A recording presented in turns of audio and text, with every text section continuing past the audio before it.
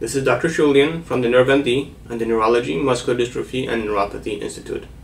We're doing a series of videos on CIDP and in this video we're going to be discussing the tr different treatment options that are commonly used in CIDP. We won't discuss all of them but the more commonly used ones.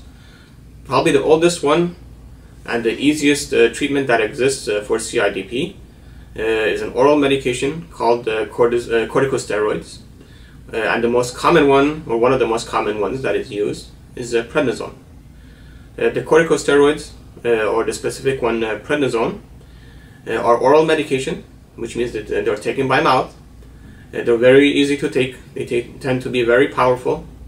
the function of the prednisone or the corticosteroids is that they calm down the immune system.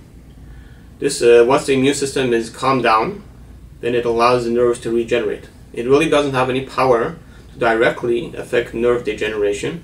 It just stops the attacks from uh, on the nerves, allowing the nerves to regenerate. It Essentially, just calms down the immune system.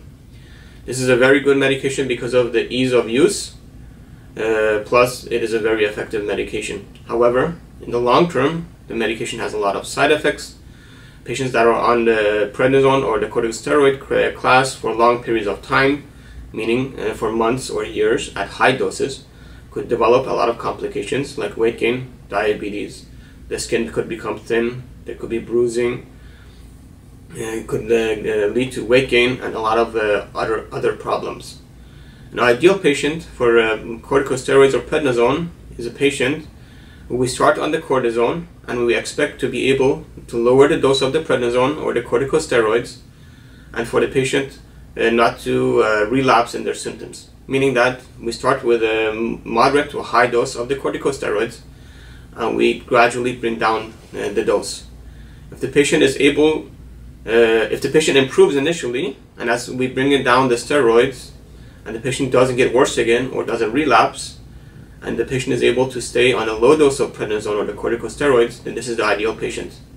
If we find that the patient doesn't respond to the corticosteroids or the prednisone, or as we bring down the dose of it, then the patient starts to have relapses or recurrent uh, symptoms, and the patient requires a high dose uh, to be symptom free or have reduced symptoms, then this is not a good candidate uh, for corticosteroids or prednisone, and at that point we have to try another method of treatment.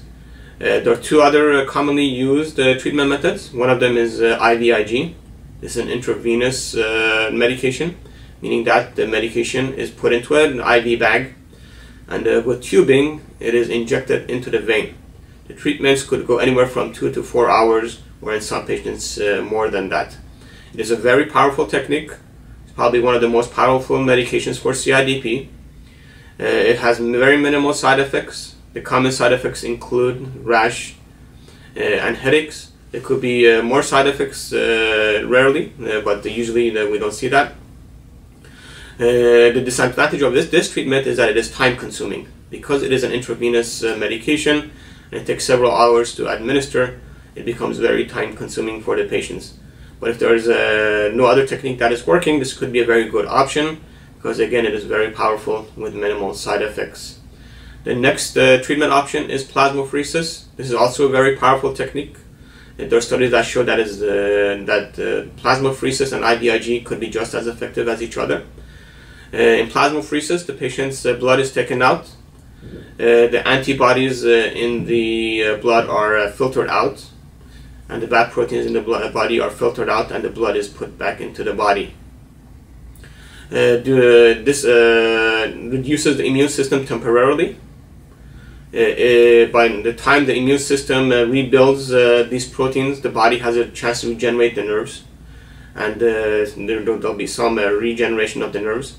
But then the process has to be repeated, just like any other medication. sometimes twice a week, sometimes less, sometimes more.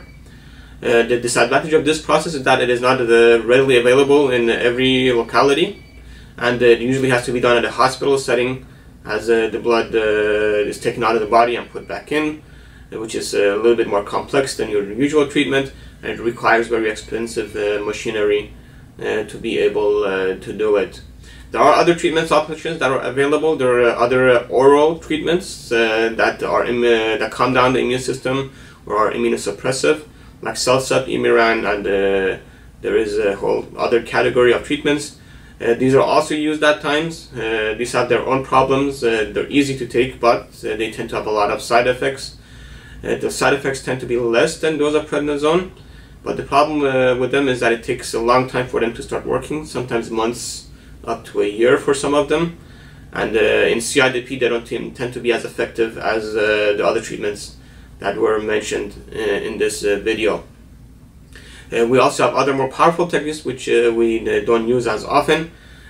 we use those in patients that don't respond. We, those are also mostly IV type medications where the medication is infused through the vein with minimal side effects most often. But in most patients, we don't need to use those medications. Uh, with most patients with CIDP, we're able to, to help them, and the uh, majority of them have reduced symptoms and uh, they do uh, much better. Uh, in patients that have, we have, we see several classes of patients. Some of them have only mild symptoms. For many years, they only have numbness or tingling in the toes. And it never gets worse. In those patients, they may not need treatment at all or maybe we'll just use medications that, that, that are for pain if the pain gets more intense. There are patients who have much more aggressive type of a disease uh, where they could uh, lead to severe paralysis or severe pain. And these patients could be on narcotics or heavy medications to calm down the pain. Uh, they might become uh, dependent on crutches or uh, on a wheelchair. And these patients will uh, get more aggressive and use more powerful treatments like IVIG, plasmapheresis, or other treatment options uh, if needed. In the majority of the patients, especially if we start at the beginning of the problem, they tend to do very well and make a very good uh, recovery. Thank you for listening to us. For more information, please visit our website at nervemd.org. Thank you.